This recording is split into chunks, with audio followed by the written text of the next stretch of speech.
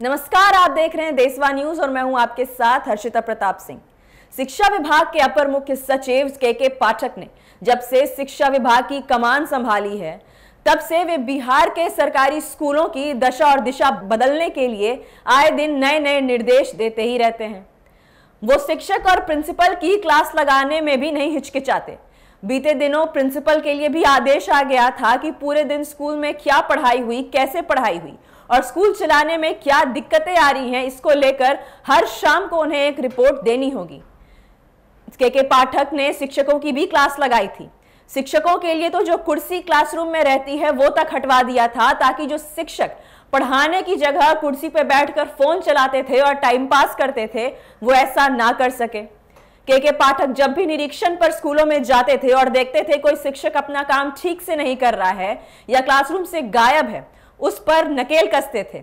शिक्षकों के वेतन काट लिए जाते हैं और शिक्षक सस्पेंड तक हो गए अपना काम ठीक से ना करने की वजह से। अब एक बार फिर से के के पाठक ने नया निर्देश दिया है, जिससे अब शिक्षकों को भी होमवर्क करके आना पड़ेगा। जी हाँ अब केवल होमवर्क स्टूडेंट्स के लिए नहीं, बल्कि शिक्षक के लिए भी होंगे। और अगर वो अपना होमवर्क ठीक से करके नहीं आएँगे तो उन पर एक बार फिर से कार्रवाई हो सकती है। अब हम आपको बताते हैं कि के के पाठक का यह नया निर्देश क्या है।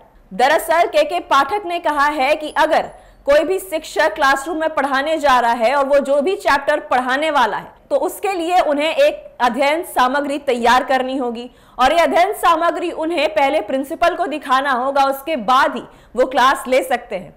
जो भी शिक्षक प्रिंसिपल को अध्ययन सामग्री नहीं दिखाएगा, उसके बारे में नहीं बताएगा तो ये माना जाएगा कि शिक्षक ने क्लास लिया ही नहीं, कक्षा में पढ़ाया ही नहीं। इसके बाद शिक्षकों को कार्रवाई के लिए तैयार रहना पड़ेगा। ये निर्देश है कक्षा तीसरी से लेकर बारहवीं तक के शिक्षकों के लिए। जो शिक्षक तीसरी से पांचवी कक्षा तक पढ़ाते हैं, उन्हें दो पेज का। जो शिक्षक कक्षा छठी से लेकर आठवीं तक पढ़ाते हैं, उन्हें चार पेज का। और जो शिक्षक कक्षा नौवीं से लेकर बारहवीं तक पढ़ाते हैं, उन्हें छह पेज का अध्ययन सामग्री पहले प्रिंसिपल को दिखाना पड़ेगा।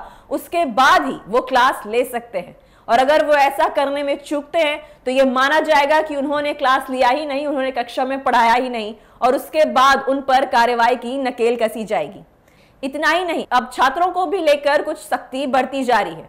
जी हाँ अब छात्रों के लगभग 50 प्रतिशत उपस्थिति के लिए भी कड़ाई की जा रही है। ये निर्देश दिया गया है कि प्रिंसिपल और शिक्षक ये देखें कि क्लासरूम में बच्चों की उपस्थिति कम से कम 50 प्रतिशत होनी चाहिए, जिसको लेकर प्रिंसिपल और टीचर को खुद इस चीज़ पर ध्यान देना पड़ेगा। अगर क्लासरूम में बच्चों की कमी रहती है तो शिक्षक खुद घर फ़ोन करके पूछते हैं उनके माता पिता से कि वो छात्र आज स्कूल क्यों नहीं आए थे। के के पाठक आए दिन नए नए निर्देश दे रहे हैं ताकि वो बिहार में सरकारी स्कूलों की स्थिति बदल सके। अब एक नया निर्देश जो आया है, उसमें अब टीचर को भी होमवर्क करना पड़ेगा। और जो टीचर ठीक से अपना होमवर्क नहीं कर पाएँगे, उन्हें कार्रवाई के लिए तैयार रहना पड़ेगा। इस खबर में अभी के लिए इतना ही। आप आगे की खबरों के लिए देखते रहिए देशवा न्यूज़। सिर्फ़ खबर दिखाना देशवा न्यूज़ का मकसद नहीं। देशवा न्यूज़ की कोशिश है। कि समाज की सूरत बदलनी चाहिए। देशवा न्यूज़ पर वीडियो देखने के लिए लाइक करें, सब्सक्राइब करें। साथ ही बेल आइकन दबाना न भूलें।